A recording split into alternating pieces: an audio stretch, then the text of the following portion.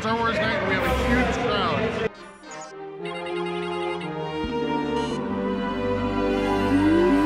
Here's a jersey for Tanner's final shift. Gonna go up to the office and sign it. He doesn't know.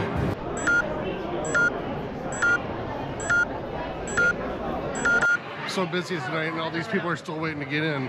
We've already had the first media timeout. And we got some Star Wars people.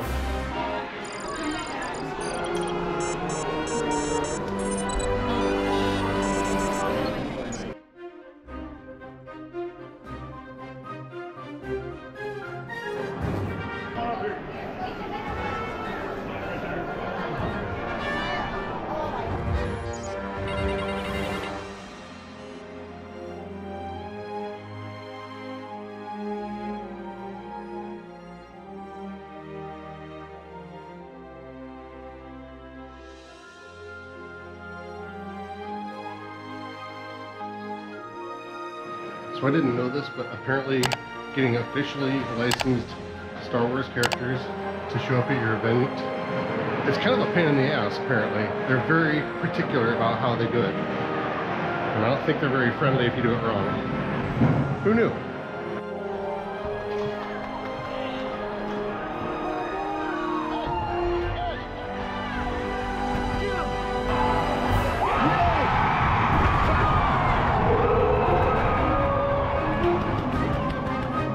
Say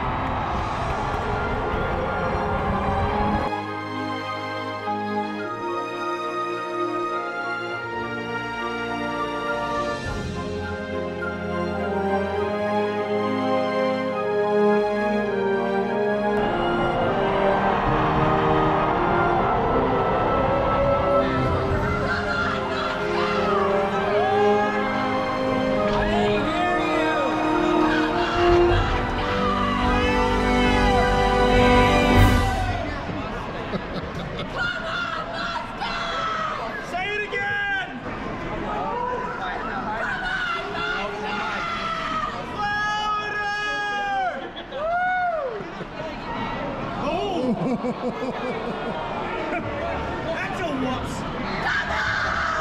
What? Let's Go Go where?